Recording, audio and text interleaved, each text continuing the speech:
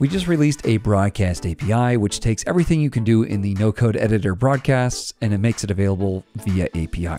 That means you can send out marketing emails with scheduling, queuing, throttling all taken care of, and you can hit an API to make that happen. Let's look into that now. Okay, so here we are in the API docs, and you can see that we just need to instantiate resend and then make a call to broadcast.create. Now I'm going to go ahead and use the stock Next.js app router example that you can find linked below. And you can see here that if I jump into the README, it's going to tell me that the first thing I need to do is define some environment variables. So let's copy over the example. And now inside of the .env, I need to add my resend API key. Now you can grab that from your resend dashboard. If I come over here to API keys, and then I hit create key, I can just give this a name. Let's call it something like demo. I'll leave it at full access and all domains. But I'll go ahead and copy this right here, and we're going to add this to that .env file. Again, this is sensitive. You should not show anybody else, and I'll delete mine as soon as the video is over with, but this is where you would put it inside of a .env file. With the Node SDK installed and my API key in my .env file, I can now make a call to create a broadcast. So if we look at this app example, you'll notice here that I've got an API for sending. If I look inside here, it's a post route that sends an email. So that would work just fine for me. In this case, though, I want to create an email. Now we're going to also send one as well, so perhaps the best thing to do would be to go ahead and just duplicate this. And we'll just change this out. We'll call this create. So in the route here for create, let's change this out for what we copied over. So we're going to broadcast.create, and that's where we need to add our audience ID, which we'll do here in a moment. We also need to change the from here to our own particular domain and then add our own HTML. We can also add React since we happen to be in Node.js, which is what we'll do in our case. But let's start one thing at a time. Let's grab the audience ID first. So back in my dashboard, I can look at my audiences and I've just got one and I put myself as the only subscriber just so we can test this. I'm going to come over here and click copy. This is the audience ID we're going to use. Back in the code, I'm going to go ahead and add this here. This could also be something you add as an environment variable, so you don't have to copy it around your project if you want to as well, but this should work in our case. Now, I also want to update this to be from me and not from resend.dev. And I've already verified a domain on my account. It's not hard to do. In fact, if I come over to domain, you can just add a new domain. That's what I've done here. And then you add some DNS records and we verify it for you. So I want to use updates.chris-resend.com. So I'll come over here. We're just going to say it's from Chris and it's updates.chris-resend.com. Now, for the subject, I'm going to use this as an opportunity to send myself a web dev newsletter. So we'll say like a new post. Now, when it comes to the actual HTML, we're going to use React since I'm in a Node.js project. You can use HTML though if you want to. Now, we're going to actually get all the code from a new email. I've generated this newsletter using New Email, which is a tool created by Resend, where you can build out your own email templates using nothing more than a chat.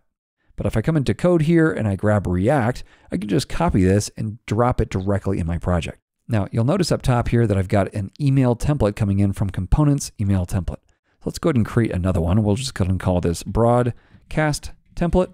Now I can just paste all that code directly in here. We've got this Brutalist dev newsletter. That's what we're going to be exporting.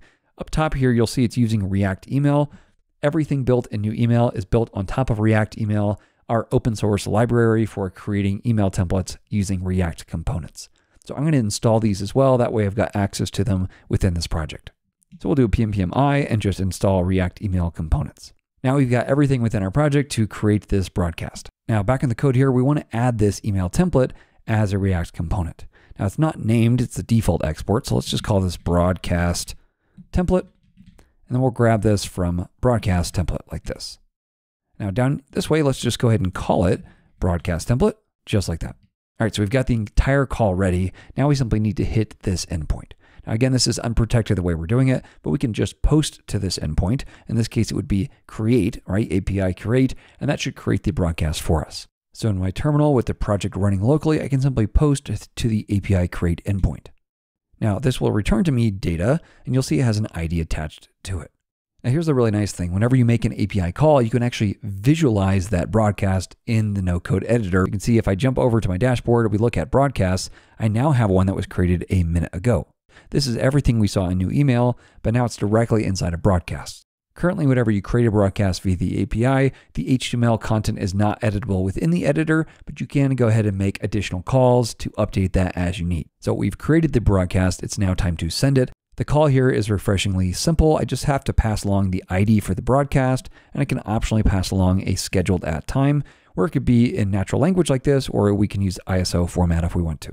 But how do you get the ID of the broadcast? Well, for that, we can either go visually or we can make another call to the API. Visually, you'll notice here that I can just grab it from right here like that. We can copy that and use that in the call.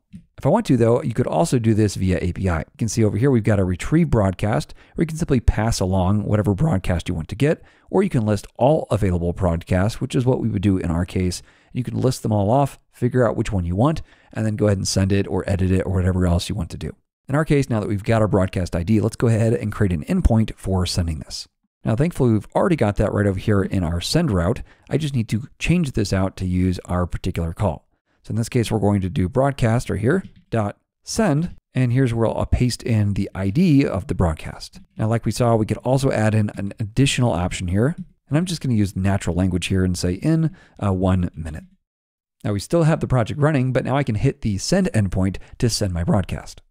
So let me post to this endpoint send, and I should get the same response back. Here I should get an ID back of the sent broadcast. Now in this case, we also scheduled it, and I should be able to see that in the broadcast dashboard as well. Now the really nice thing is, even though we sent it using the API, we still get to take full advantage of everything that comes along with broadcasts, like queuing and throttling and scheduling. All that is baked in, and all I have to do is make a simple API call. Once it's ready to send, it will switch to queued instead of scheduled, and then once it sends, it will go to sent. The nice thing is I get access to all these metrics as well. Here's that post I just sent to myself, and I can view it directly inside of the email dashboard if I want to, or I can actually check my email.